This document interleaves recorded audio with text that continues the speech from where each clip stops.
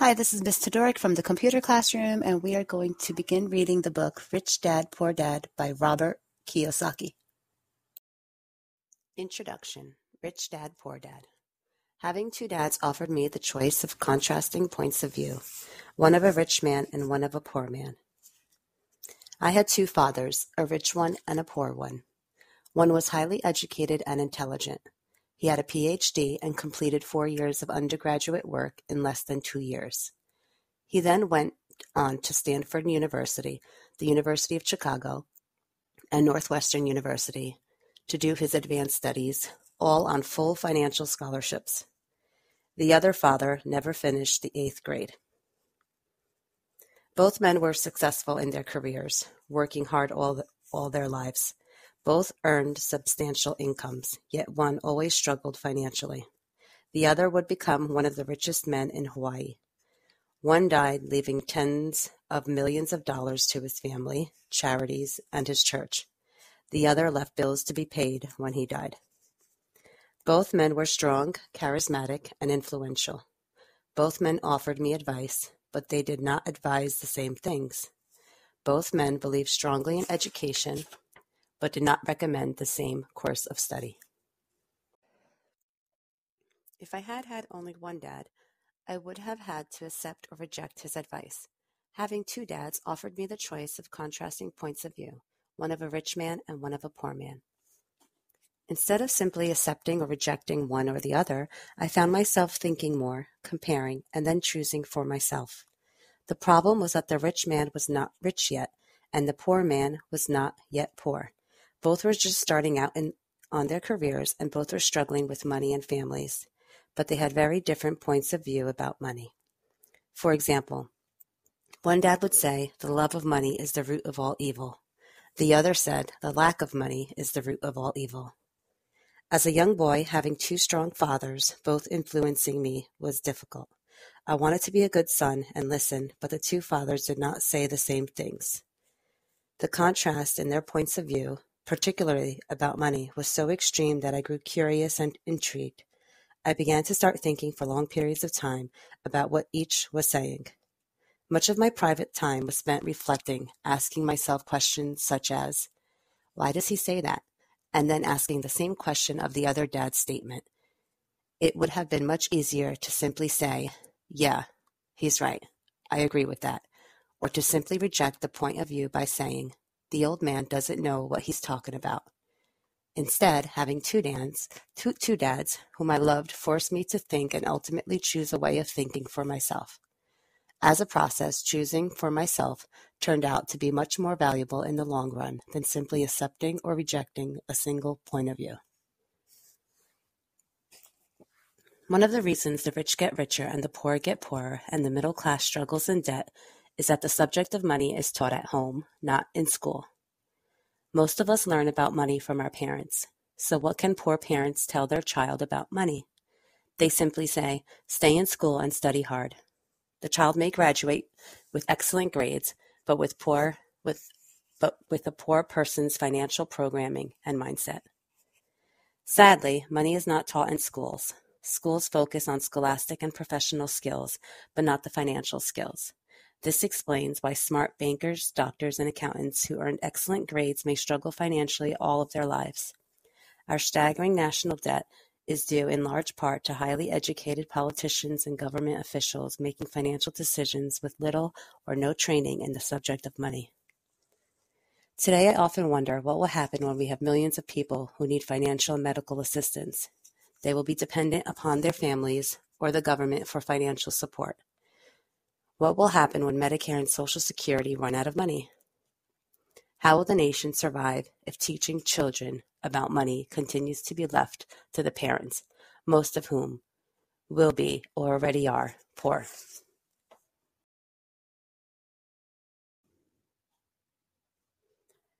Because I had two influential fathers, I learned from both of them. I had to think about each dad's advice, and in doing so, I gained valuable insight into the power and effect of one's thoughts on one's life. For example, one dad had a habit of saying, I can't afford it. The other dad forbade those words to be used. He insisted I ask, How can I afford it? One is a statement and the other is a question. One lets you off the hook and the other forces you to think. My soon to be rich dad would explain that by automatically saying the words, I can't afford it, your brain stops working. By asking the question, How can I afford it? your brain is put to work. He did not mean that you should buy everything you want. He was fanatical about exercising your mind, the most powerful computer in the world. He'd say, My brain gets stronger every day because I exercise it. The stronger it gets, the more money I can make. He believed that automatically saying, I can't afford it, was a sign of mental laziness.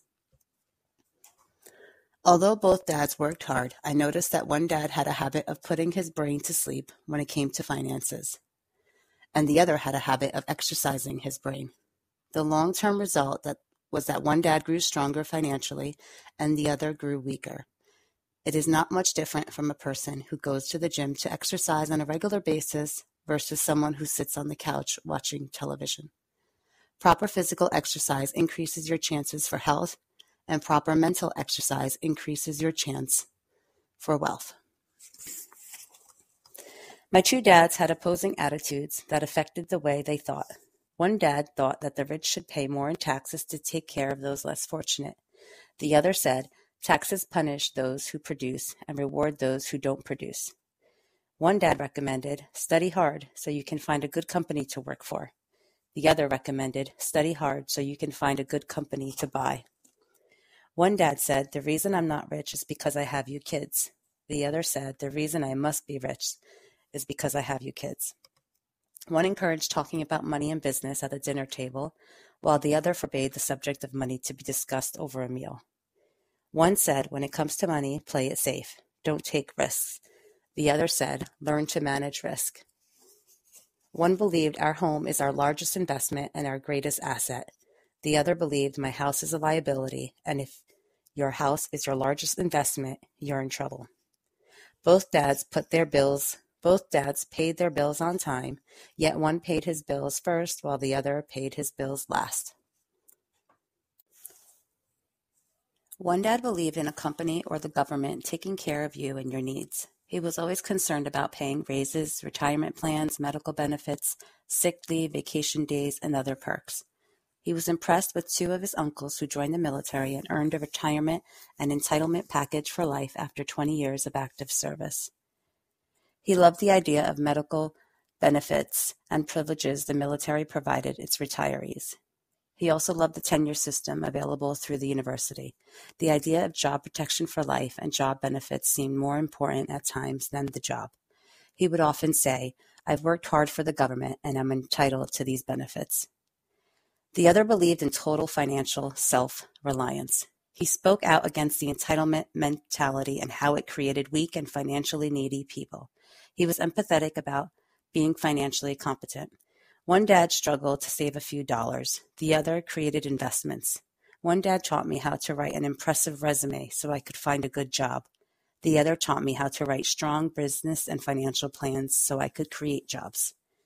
Being a product of two strong dads allowed me the luxury of observing the effects different thoughts have on one's life. I noticed that people really do shape their lives through their thoughts.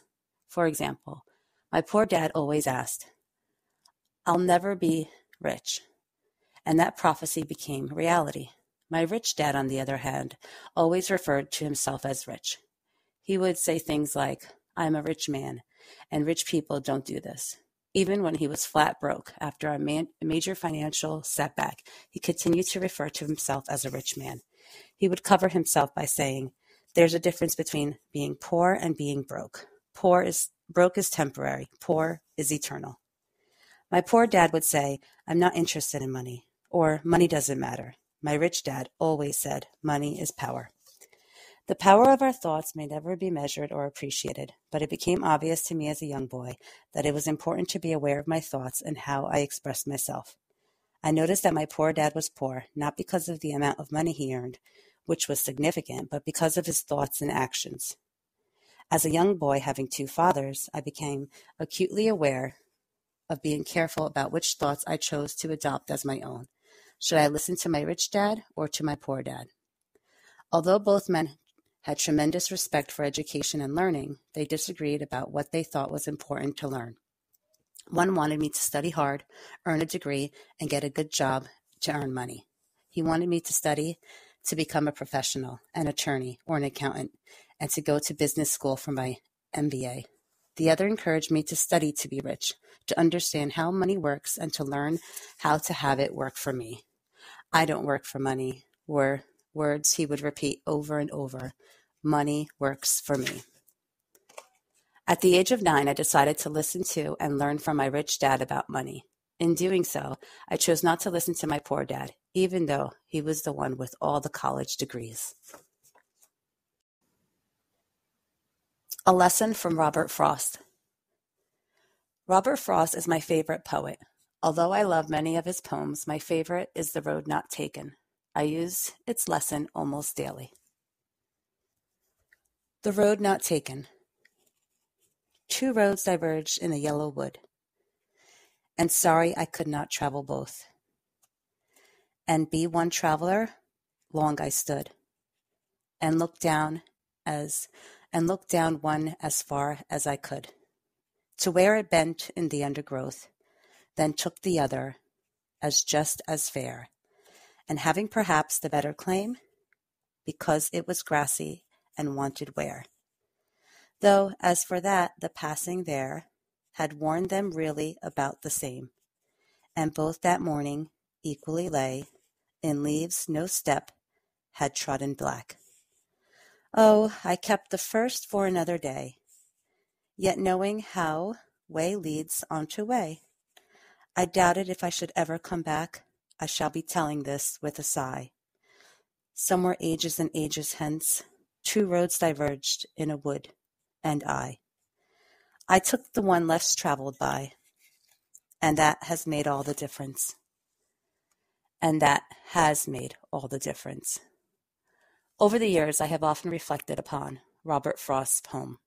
Choosing not to listen to my highly educated dad's advice and attitude about money was a painful decision, but it was a decision that shaped the rest of my life. Once I made up my mind about whom to listen to, my education about money began. My rich dad taught me over a period of 30 years until I was 39 years old. He stopped once he realized that I knew and fully understood what he had been trying to, to drum into my often thick skull. Money is one form of power, but what is more powerful is financial education. Money comes and goes, but you have to have the education about how money works. You gain power over it and be, can begin building wealth. The reason positive thinking alone does not work is because most people went to school and never learned how money works, so they spend their lives working for money.